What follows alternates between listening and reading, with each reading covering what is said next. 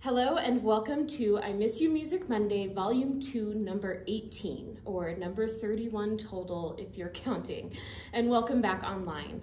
Recently, I was reminded of this song by a friend and colleague who I greatly admire, and it has kind of a fun story.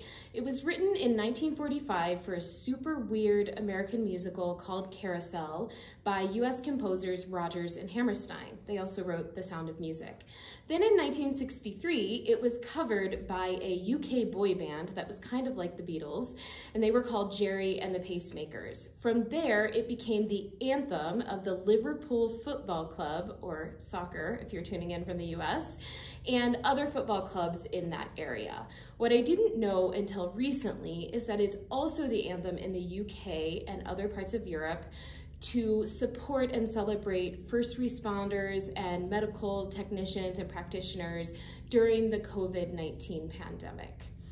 So inspired by the incredible journey this song has taken around the world, I wanted to do something a little bit challenging this week by playing an instrument I haven't played in a while and playing an instrument I've never really played at all.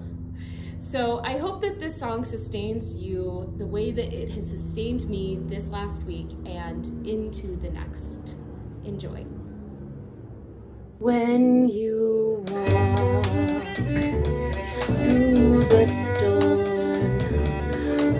Hold your head up high and don't be afraid of the dark. At the end of the road, there's a goal.